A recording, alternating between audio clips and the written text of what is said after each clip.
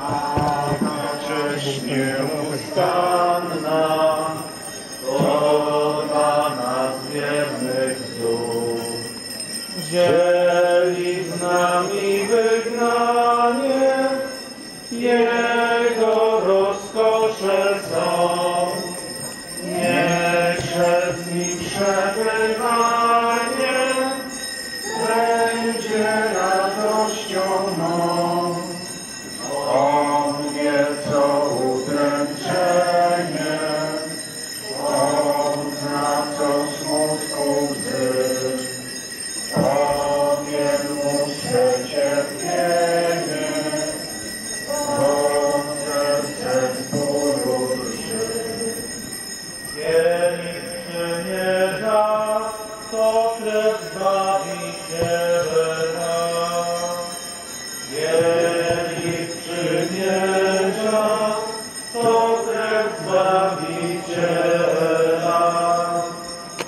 Chrystus jako arcykapłan tu przyszły, przez własną krew wszedł do miejsca świętego. Kielich przymierza, to krew Zbawiciela. Jezus złożył Bogu samego siebie jako nieskalaną ofiarę. Jego krew oczyszcza nasze sumienia.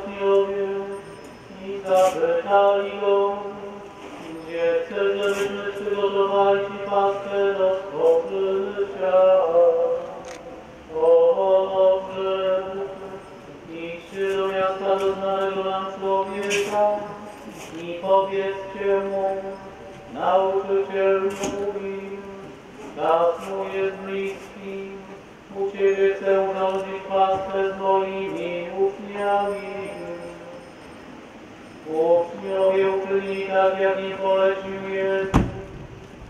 przygotowali Paschę. A gdy oni jedli, Jezus wziął chleb i odmówiwszy błogosławieństwo połamał i dał uczniom mówiąc Jedzcie, jedzcie, to jest ciało moje. Następnie wziął kielich i odmówiwszy dziewczynie nie dał im niego wszyscy, bo to jest moja krew przymierza, która za wielu będzie wylana na odpuszczenie grzechów. Lecz powiadam wam, odtąd nie będę już pił z tego winnego krzewu, aż do owego dnia, kiedy pić go będę nowym,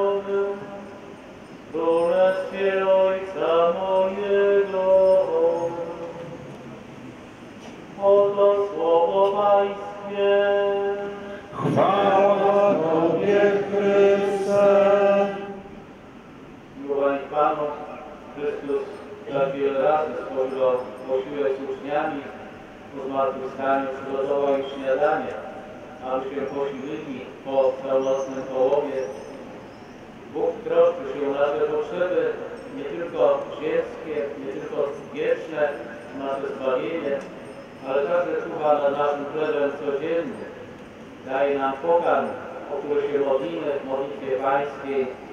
Chleba naszego poprzedniego daje nam dzisiaj.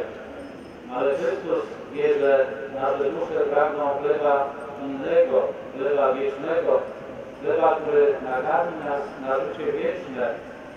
I dlatego zaprasza nas do stołu. Jeszcie, jedzcie, jeszcie, pijcie. Zapraszamy do stołu tylko ludzi bliskich, tylko tych, których kochamy, chcemy świętować.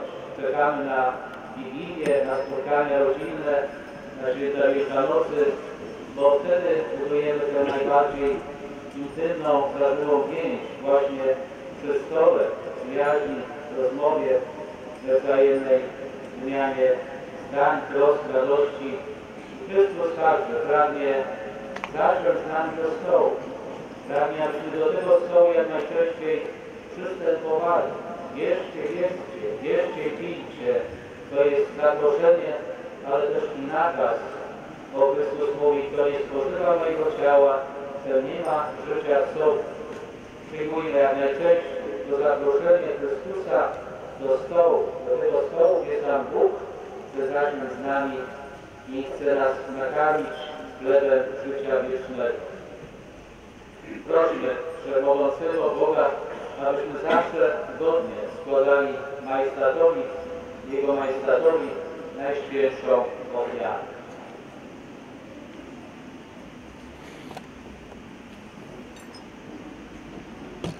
Yeah.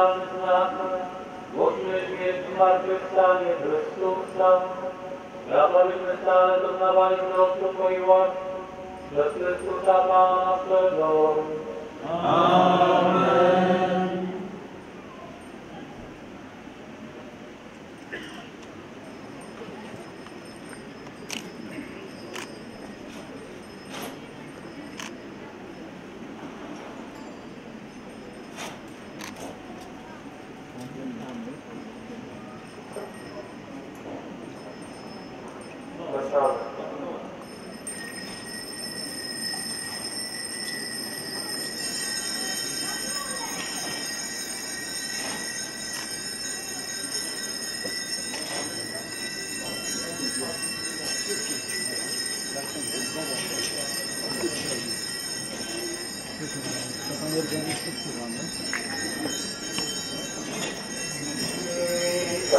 yeah.